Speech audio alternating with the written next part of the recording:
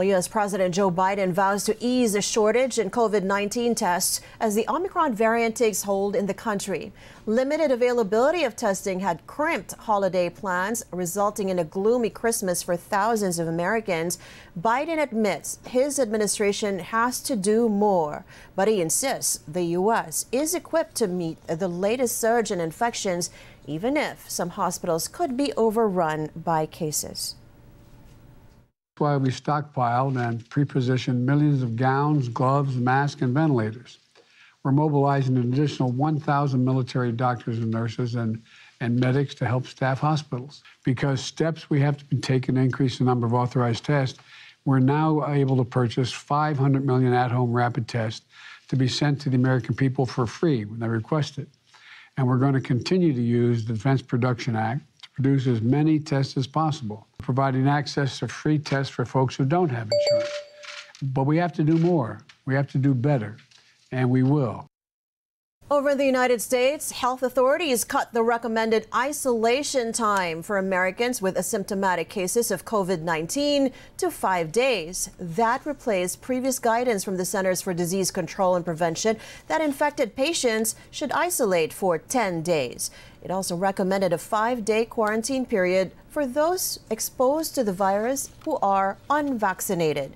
The agency cited growing evidence the virus is most contagious in the two days before the three days after symptoms develop. The new guidance comes as the highly transmissible Omicron variant triggers a surge in cases across the U.S. Goldman Sachs will require employees and visitors in its U.S. offices to receive booster shots. The bank said beginning February, anyone eligible to receive a booster must have obtained one in order to enter Goldman Sachs offices. The bank will also require staff to get tested twice weekly for COVID. Goldman's new policies follow those of other banks that are implementing stricter COVID 19 measures. Before the Christmas holiday, Citigroup and the Bank of America told staff in the New York City area to work remotely. Wells Fargo has also delayed its planned January 10 return to its offices. Meanwhile, Apple closes all of its stores in New York City amid rising COVID 19 cases there, but customers will still be able to pick up their online orders. 800 more flights in the U.S. were canceled Monday amid rising Omicron cases and weather related problems. That's on top of over 3,000 flight cancellations during the Christmas weekend. But at least one analyst believes problems hounding the airline industry due to the Omicron variant will be short lived. Omicron is going to have a small effect on airlines in terms of their financial results.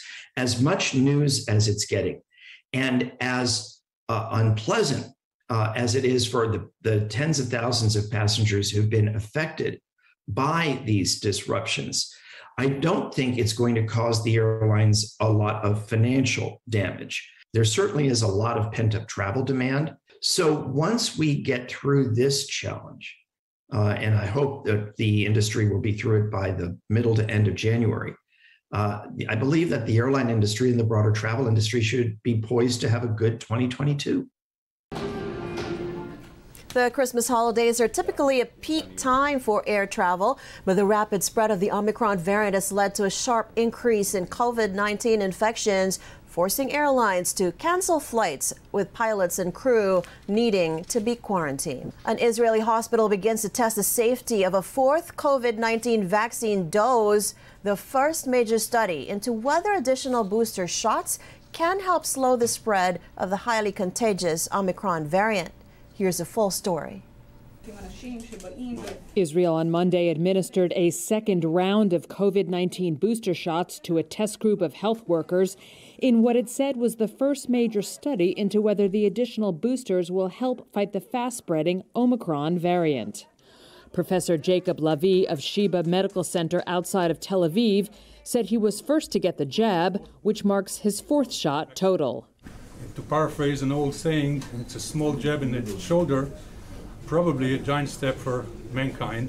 A health ministry expert panel last week recommended that Israel become the first country to offer a fourth vaccine dose or second booster shot to those over age 60, those suffering from compromised immune systems, and to medical workers.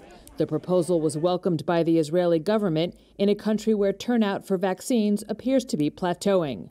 Professor Gili Regev Yochay is the study's director. We'll have initial data within a few days about the safety, and I think then we'll feel more safe to say, okay, everybody who has immune suppression can go and get it.